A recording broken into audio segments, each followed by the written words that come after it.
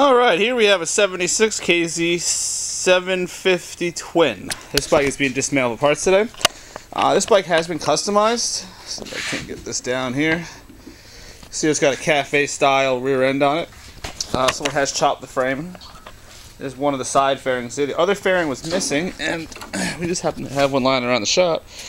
This bike was for sale for a little while. Um, I had it running in the past. I had it driving and shifting and everything else. I ran into some voltage regulator issues. Um, never did get around to fixing that. We had it for sale for a little while. Uh, unfortunately, no one wanted to buy it. So it's going to be dismantled today. It does have an aftermarket exhaust. I was unable to really find a brand on it. Almost looks like a Kerker. Might be a knockoff. I'm not sure. Once I get it off and get to look at it a little bit more, I'll know more. It does have a little dent there on the side. You can see it's out of round. There's a little bit of rash in a few spots. nice piece right here on the muffler. The gas tank, it's not in terrible shape. Um, we did red coat this tank. It very well may need to be recoated. Uh, as far as the voltage regulator issues, what had happened is I started losing a whole bunch of my lights. The headlight popped, things along that nature. The bike's been sitting for several months now. Uh, I just brought it in today and I'm trying to get it running and um, I'm not getting any spark. I'm getting occasional.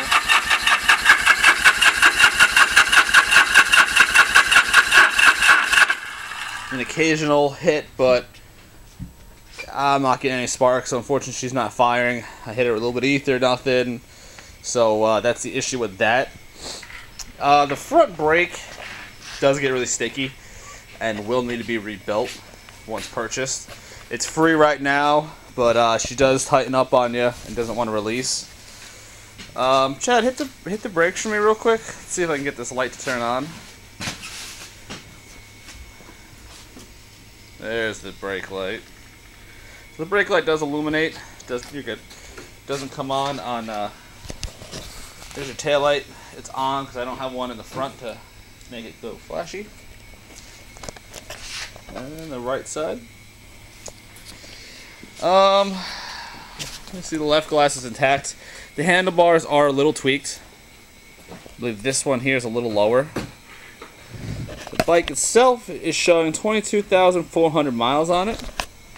Again, the motor's free.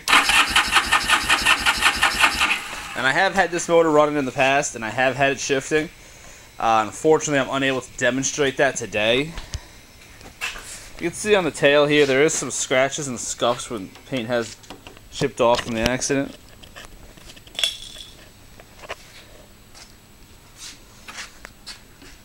Nice gouge there, the tank right here.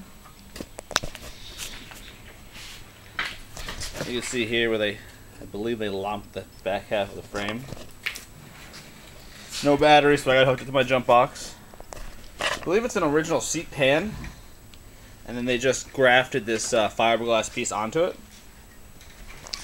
But if you have any questions or concerns about this bike or any other bike, please feel free to contact us at R&B Cycle Salvage on Facebook and on eBay. Thank you.